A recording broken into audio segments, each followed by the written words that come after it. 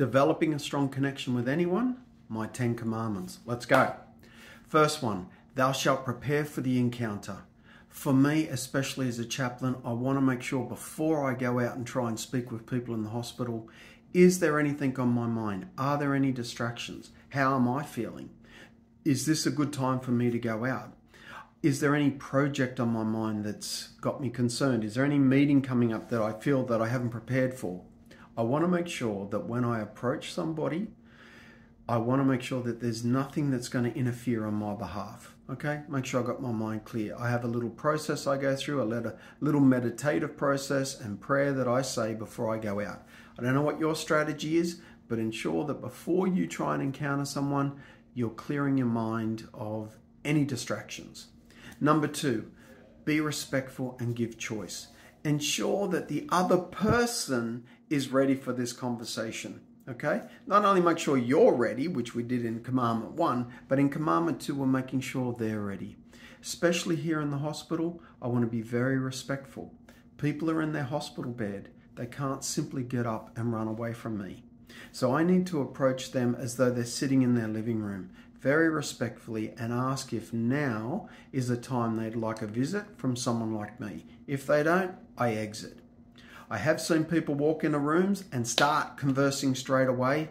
It's not very respectful. They don't know who you are, they don't know why you're there. So always introduce yourself, be very clear about who you are, and give them the choice to say yes or no to your visit. Number three, listen with intention and attention. This commandment's very important. So often when we listen to people, we get a gist of what they're trying to say to us, and then we're formulating a response. It could be something they're sharing with us, and we're thinking, oh, yeah, I've done that, or I know that, and you're looking to share. So I, I switch off listening and I start getting my response ready. Try not to do that. Try just to sit in the space of really listening to someone and pay attention to what they're saying. That's really important. Pay attention to their body language and whether it's matching what they're saying. Okay, sometimes people are saying something, but their body language is not matching. Sometimes people are saying, no, that's not how I feel. Stuff like that. So be attentive to that sort of stuff. The next commandment, commandment number four, manage your own triggers. When you're encountering people, it's not uncommon for strong emotions to come up. Be aware of that. Try as far as possible to not let that interfere with the conversation. And if you're aware that something's come up in the conversation, for goodness sake, at a later time, sit and ask yourself, why? Why did that come up in that conversation? What was I responding to? It's their life, not mine, and yet I had this strong reaction. Why? It's really important. It's going to help minimize the impact of these triggers on these important conversations that we're having. Commandment number five Thou shalt respond with empathy. Guys, that's the secret of a strong connection. Try and convey to someone, I understand, I hear you, I understand, or I'm striving to understand what this is like. It's so powerful for someone when they go, I don't feel alone anymore. You get it. I feel heard. I feel understood. Thank you. Because virtually no one else in their life is doing that. Respond with empathy. Commandment number six Thou shalt not ask questions and contain curiosity. Guys, I've spoken a lot about this. There are many, many occasions when asking questions are fine. Okay, in fact, very appropriate. But when someone is sharing something really meaningful about a traumatic event or a loss or a grief that they've suffered, that's not the time for questions. Contain your curiosity. You don't have to know everything about this particular situation.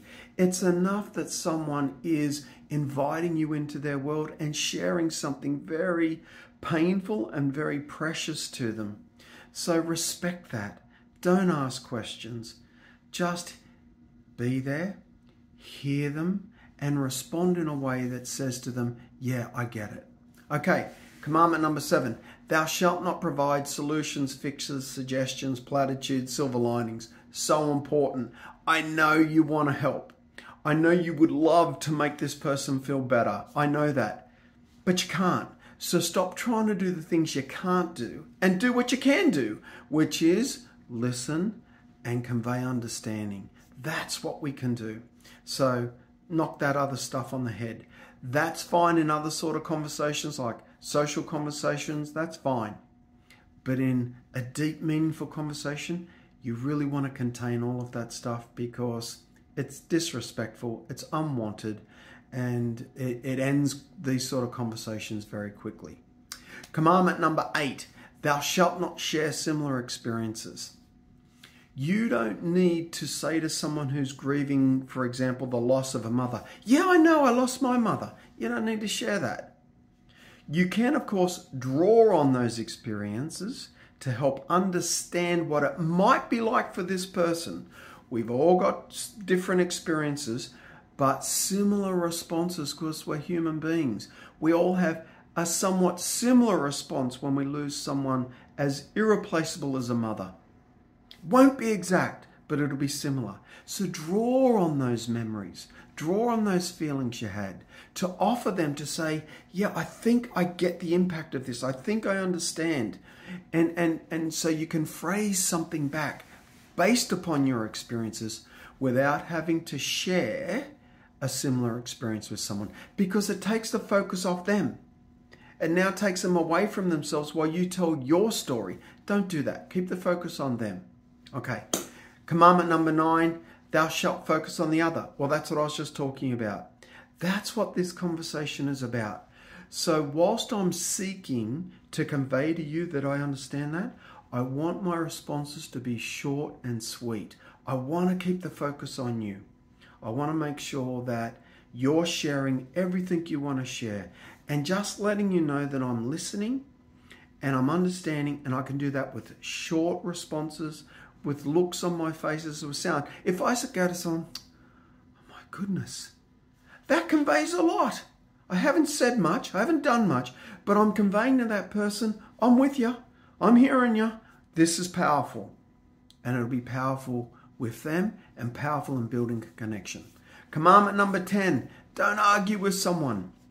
If someone says to me, um, you know, my child died and now they're an angel in heaven, I don't need to say, uh, actually, that's really not correct as far as angelic epistemology goes. Um, they're a different species to us in a sense. They're created on a higher plane of existence than us. Um, we may, if we go to heaven, spend eternity surrounded by angels, but we'll never be angels, and they'll never be hum, human beings. We're, we're separate in, in, you know, in that sense. Now, look, whether that's true or not, I don't know. That's that's what I believe. But if someone else believes that a loved one has died and now they're an angel in heaven, that's okay. I can let that slide. It's not on me to correct their theology. If whatever's true, one day we'll all know. And I'm happy to wait till then. I don't feel the need to correct someone's theology or correct any other little mistake they make when they're sharing something deep and meaningful to me. They're my 10 commandments, guys. It helps me build a strong connections with the people I meet in the hospitals who are going through very difficult and trying circumstances. I can't see why it wouldn't work for you. God bless. Thanks for listening.